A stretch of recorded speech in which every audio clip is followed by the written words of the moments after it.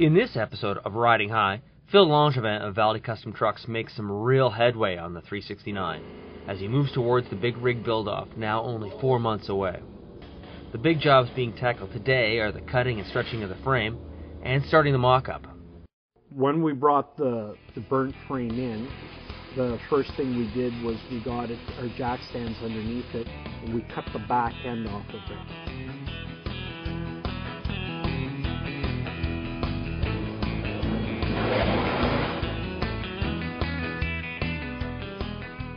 Since we've cut the frame, both frames, I had them welded together. I brought in a professional welder because my welding isn't good enough and I wouldn't trust it.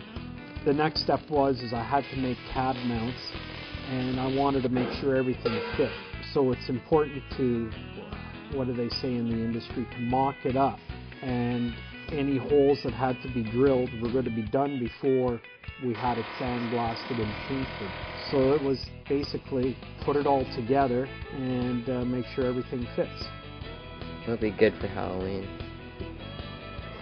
What we're trying to do is get the angle of the drive line running on a continuous downslope.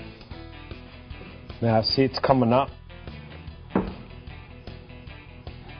No? I wonder if it'll be too tight.